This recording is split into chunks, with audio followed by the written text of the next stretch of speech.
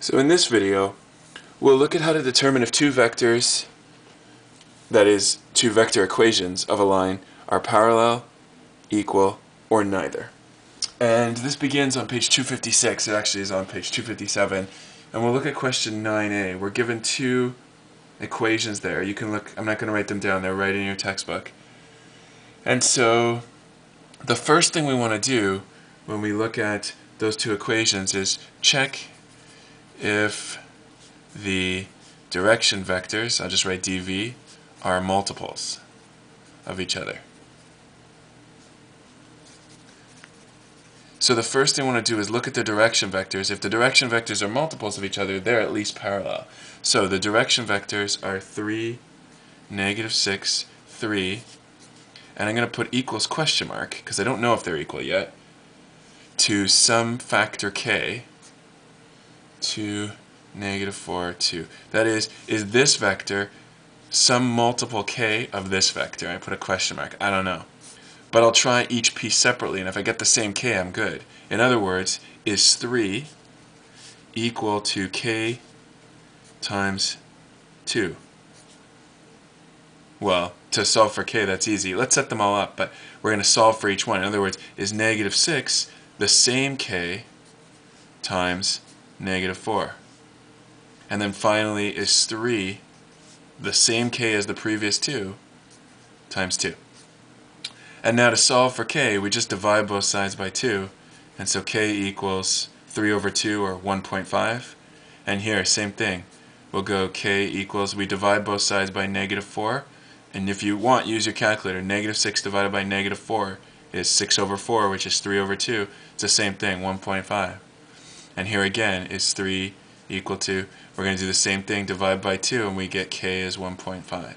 So we got the exact same k, as in they're all this, all the components are the same multiple. That means the whole vector is a multiple of the other, which means they're, I'll put implies, this little symbol means implies, they're at least parallel.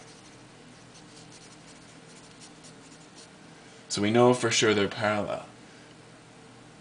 So now the question is just to find out, are they equal? Well, how do we know if they're equal? What we want to do, again, you might want to look at your text textbook, is now check the point from the second equation in the first. That is to say, I want to find out the point from the second equation, looking at my textbook, is 2, negative 2, comma 5. And so I'm wondering, question mark equals, I'm wondering can that point be made from the first equation? Because if it can, they're the exact same line.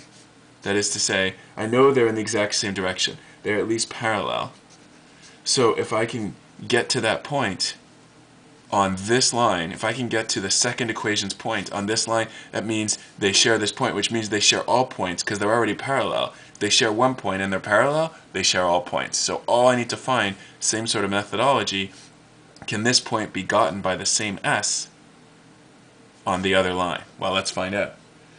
We'll do three pieces again. In other words, component 1, can 2 be made of 1 plus, and I'll write the s afterwards, so I don't have to put brackets this time. So this is 1 plus 3s. And I want to check all of them. In other words, can this component, negative 2, be made from 0 minus 6s? And it has to be the same s every time.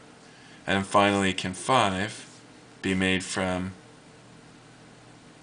3 plus 3s? Alright, let's do the math. So take away 1 both sides, we get 1 equals 3s, and so s equals a third. So we have to get a third both times. What do we got over here? You get negative 2, the 0 doesn't even matter, equals negative 6s. So divide both sides by negative 6, you get negative 2 over negative 6, which is a third. Good, so we just get it here again and we're good to go. I'm going to start by taking away 2 both sides. So you get 3 equals 3s. But now I get, hold on, oh, and this is incorrect. Let's do it again. This is take away 3 both sides. So I should have had 5 take away 3 is 2. But nonetheless, when I divide, what's 2 divided by 3? Just 2 thirds. And they're not the same, which means you can't get to this point from this equation, which means they're not the same line. So therefore, the two equations are parallel, but not equal. And how do I know that? Well, I went through and found out are they parallel by checking the vectors, the direction vectors of their lines and seeing could I find the same multiple of all the components? I could, which means that these two vectors are multiples of each other. That means they're at least parallel. Then I had to check, okay, let's take a point from the second equation and check it on the first equation. If I get the same s, then this point is on this equation, which means the lines are equal. But I found the s's were different. This one was different, which means the two equations were parallel, but not equal.